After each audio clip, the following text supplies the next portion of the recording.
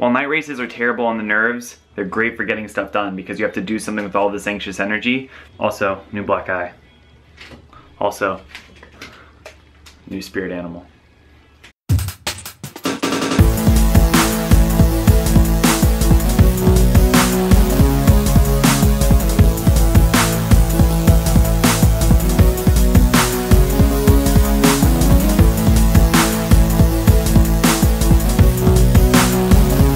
This week, I've been trying to get back in touch with the joy of riding my bike. Kind of a weird thing. When you start racing, you get really into getting faster and faster and faster. And if you're not getting faster, it just sucks because you're killing yourself every week and it gets so frustrating, especially when, you know, you're you're actually not doing as well as you were previously, which is kind of what I was experiencing last week. So this week, I definitely focused a little bit more on some of my pain points, um, like cyclocross specific uh, intervals, but also just kind of tap back into the joy of riding a bike. All right, the sky is the color of orange sherbet.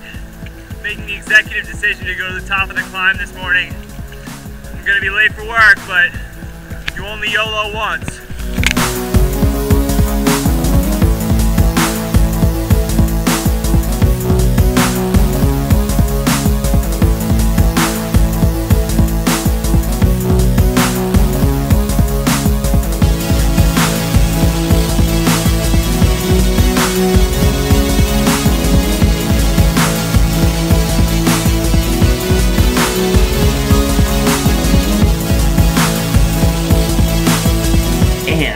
on top of that, there was the night race. Up, up, up, up, up, up, up.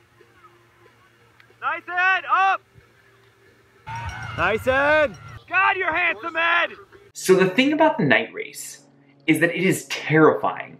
It's such a bad idea. I have no idea how this thing, this phenomenon started happening. That they thought, hey, here's a perfectly dangerous activity that's terrifying to do in broad daylight. Let's do it in pitch black darkness when it's wet and cold. But what's cool about it, kind of, is that it's so terrifying, it's so scary that you really lose yourself in the moment. It's a really cool experience because you literally kind of become disembodied from that like I'm a bike racer, I'm a bike racer, I'm a bike racer, and you're really in it together with all the other dudes racing, just kind of trying to survive this weird, sketchy spectacle. So this is 100% a night race. This isn't a twilight crit in a well-lit downtown somewhere in your municipality where everybody comes out and cheers on your favorite bike racers.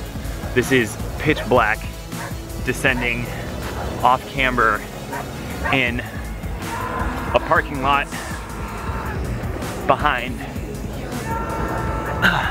a Six Flags. This is terrifying.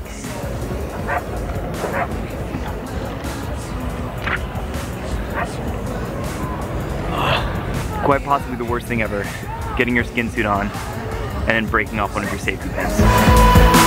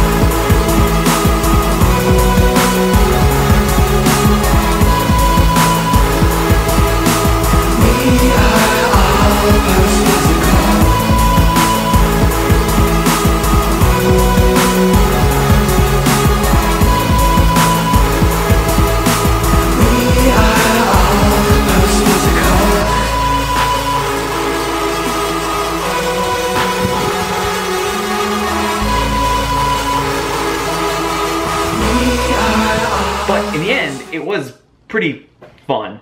and my results were far better than they were last week. This week, I wanted to talk about three things that I really like that I think you should check out. If you train jujitsu, you're gonna get a black eye. Clearly, I have one right now.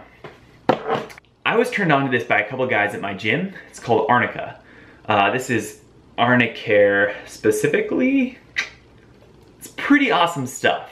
So it's a sort of homeopathic uh, ointment that you put on topically, just right over the, uh, the black eye. I don't know what it does, but it literally makes your black eyes go away in about a week. This one would normally last me at least a month, um, and this clears it up super fast. So if you train, get on some Arnica. The second thing I wanna talk about is this cool, fun thing from TRX. So if you don't know, uh, TRX makes uh, like a body weight suspension training device. I've been using them since about 2008. Um, I also worked for the company for a while. Interesting Blake fact. Uh, but uh, they kicked me down one of these to try this weekend and it's pretty cool. Going a little stir crazy at the house right now, so I'm gonna go to the park to do a workout. I'm bringing my new TRX Go suspension trainer. It's just like a regular TRX suspension trainer, except it's way lighter and smaller, and the straps are a little bit thinner, so it looks like um, it can travel better. Still smells like fitness. So let's see if it can uh, handle a normal TRX workout. Join me on this magical journey through fitness.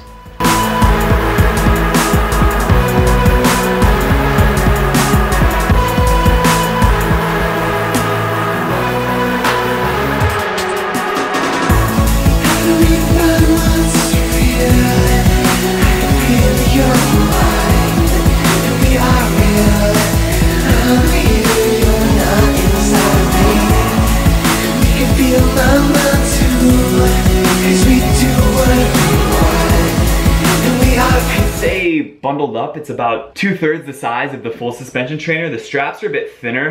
They're about an inch wide. Uh, it's a cool thing to use if you're traveling and um, on the go and you wanna get a workout in and be able to anchor it easily and not have to worry about a bunch of bulk.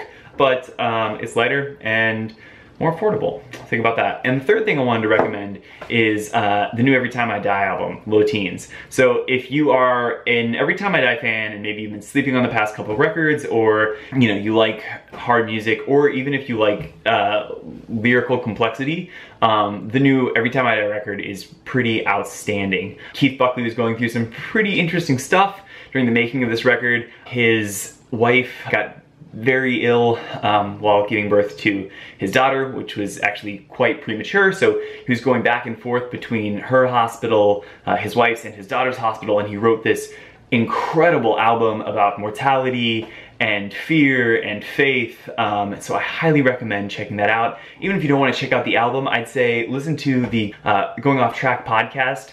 Um, with Keith Buckley on it. I'll link to it underneath. So that's my update for this week, y'all keep the rubber side down, and I'll see you soon.